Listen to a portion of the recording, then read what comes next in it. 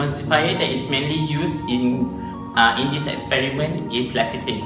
Lecithin is the fat that is essential in our body. We can also find uh, lecithin in soy. But for the kitchen, we only use yolk because yolk contains natural emulsifier. For example, we can make mayonnaise, which is uh, the ingredient is eggs and some acidic. We can combine together and mix until it becomes a mayonnaise because mayonnaise has natural emulsifier.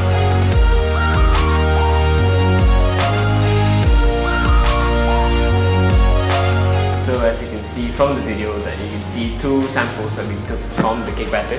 One is on the left lighter in color and one on the right is darker in color.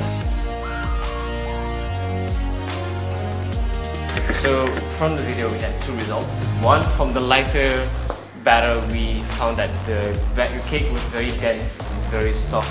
Everything was uh, basically settled down and very very very um, how to say has a custard texture compared to the other darker um, batter which has a lighter and more volume type of cake which is as you have in a typical cake.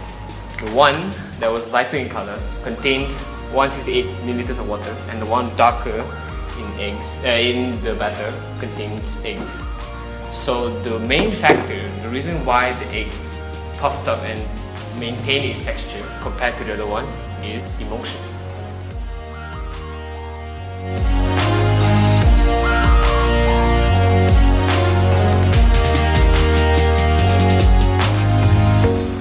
So this is the phospholipid structure. It is made up of the hydrophilic head and the hydrophobic tails. So the hydrophilic head has a choline, a phosphate group, and a glycerol. This choline is ionized, positively charged, so that it repels other phospholipids. And these hydrophobic tails are made up of two fatty acids. So these are non-polar, which are which attract lipids and repel water. So, emulsifier usually appear in two different states, solid state and also liquid state. So, solid state for example, we can see it from soy lecithin powder. But in liquid state, we can usually find emulsifier which is lecithin that contain in egg yolk. There are two different kinds of emulsions. One is oil in water emulsion, where oil is the dispersed phase and water is the dispersion medium.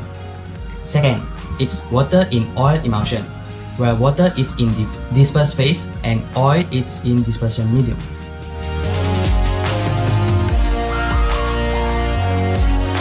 For the phospholipid, there is no physical or chemical changes. This is because the phospholipid acts as an emulsifier. So here you can see that fat droplets in water is binded by the phospholipids. The phospholipids attach itself to the fat molecules through their hydrophobic tails and they also attach themselves to the water through their hydrophilic heads.